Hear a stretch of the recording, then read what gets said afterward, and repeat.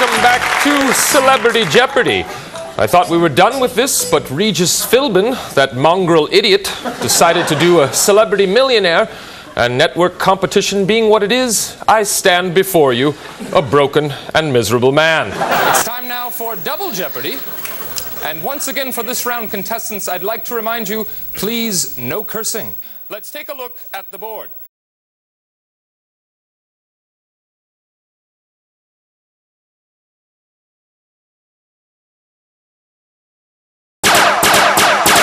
And it's a video daily double.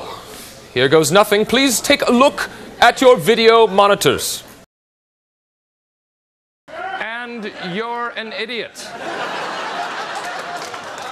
The answer was It's the biggest shopping day of the year. Oh, and another thing, you don't have to go shopping with your significant other. God, I love this job.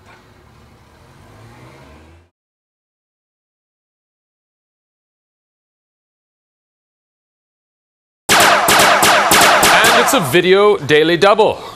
Here goes nothing. Please take a look at your video monitors. I hate my job.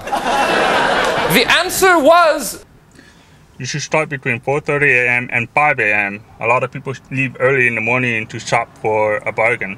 And here's a tip: Best Buy offers big screen TV for half off from 6 a.m. to 10 a.m.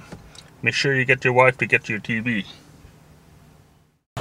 I tell you what, let's just go to Final Jeopardy.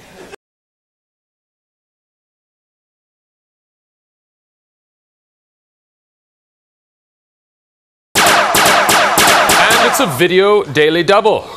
Here goes nothing. Please take a look at your video monitors. For the love of God, shut your mouth. You park at the first available parking spot. Then you get out and you follow the claimant's vehicle on foot.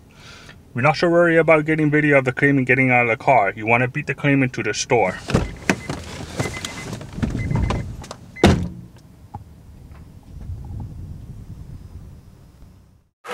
That's it for Celebrity Jeopardy. I'm going home and putting a gun in my mouth. Good day.